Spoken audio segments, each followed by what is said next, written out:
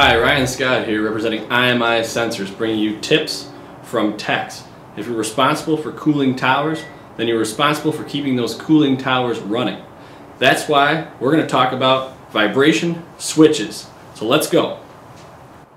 Any vibration switch can play an important role in protecting your cooling towers. But which switch will work best for you?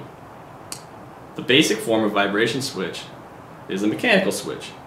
The mechanical switch will trip an alarm or shut down your machinery when it experiences excessive vibration. They do have their faults though. It is difficult to accurately adjust these switches and in the time of need they could fail you and you could have catastrophic failure. You don't want that. Here at IMI Sensors we've evolved and created a new mechanical switch called the linear adjust mechanical switch. This allows for easier adjustment and provides better protection to your critical assets. And with a similar price point as the basic mechanical switch, it renders the basic mechanical switch and any switch like it obsolete. So we'll just get rid of that. For those of you looking to upgrade your vibration switches, IMI Sensors has an electronic switch and a smart programmable switch. Both the electronic switch and the smart programmable switch feature time delays, which eliminates false trips. With the basic mechanical switch or the linear adjust switch, you don't get that feature. And so much as a train rolling by or a strong burst of thunder can give you a false trip, which can be so annoying. Electronic switches have more capabilities than mechanical switches. electronic switch has its own internal piezo accelerometer. It also has four pots which can be used to adjust your set points, located right here. It responds to velocity and acceleration and has a 420 milliamp output, making it easy to connect to your PLC. It can provide analog vibration data for your fault analysis.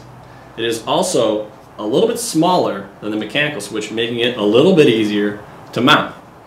For you, the benefits could far outweigh the cost with this switch.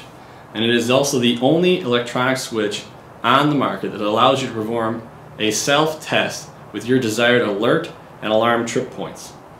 Pretty good feature. Let's move on to IMI Sensor's Smart Programmable Switch. This switch has more ability than the mechanical switch, but is less expensive than the electronic switch. It's kind of like a soup that's uh, not too hot, not too cold. It's the best of both worlds. Like the electronic switch, it comes with its own internal piezoelectric accelerometer. Using USB connectivity and programming software makes setup for this switch as easy as writing up a Word document on your computer. The smart switch does not have screw-in style pots like the electronic switch.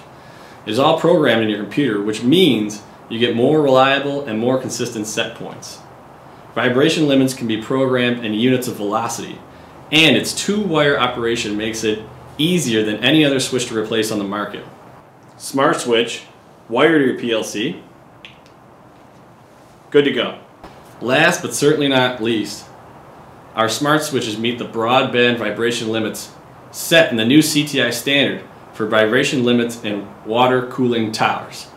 Yes, it's pretty awesome. So, well, there you have it. A short summary of vibration switches and the ones that IMI sensors sell. If you'd like to learn more information about these switches, please visit imi-sensors.com.